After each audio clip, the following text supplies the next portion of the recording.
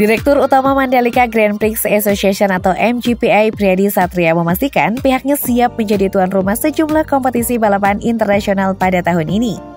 Sementara itu, sirkuit Mandalika akan menjadi tuan rumah dari putaran kedua kejuaraan dunia Superbike atau FIM Superbike World Championship WSBK 2023. Di sela kompetisi tersebut juga akan ada supporting race Mandalika Racing Series perdana.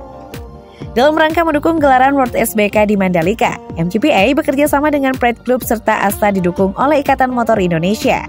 Bertempat di Orleans, Indonesia pada hari Rabu 1 Februari 2023 kemarin. Meluncurkan satu event balap yang bernama Mandalika Racing Series.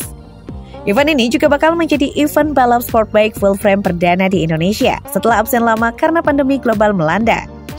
Sebagai event perdana, kejuaraan nasional balap motor sport bike akan dipentaskan bersamaan dengan seri World SBK untuk menjadi supporting race pada 3-5 Maret 2023 di Pertamina Mandalika International Circuit. Edi Saputra dari IMI Pusat mengatakan, Inilah awal yang harus kita jalankan tidak boleh tidak, walau dalam kondisi apa pun.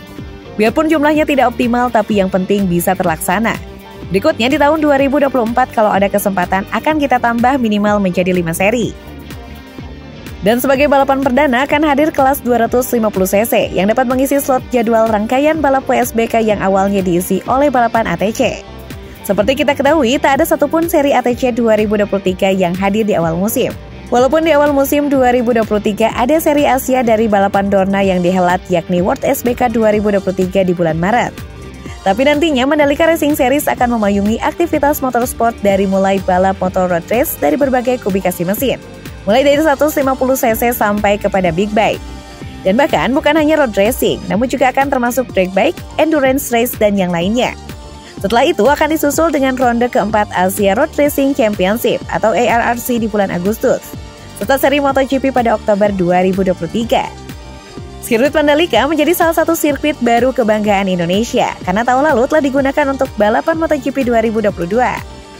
Banyak pihak yang waktu itu memuji keindahan sirkuit Mandalika saat menjadi tuan rumah MotoGP 2022. Tahun ini, masyarakat Indonesia bisa menyaksikan lagi keindahan sirkuit Mandalika Indonesia di ajang kelas dunia MotoGP 2023. Sirkuit Mandalika Indonesia kembali akan menjadi salah satu tuan rumah MotoGP 2023. Selain sirkuit Mandalika, ada dua negara baru yang menjadi tuan rumah MotoGP mulai musim 2023, antara lain India dan Kazakhstan.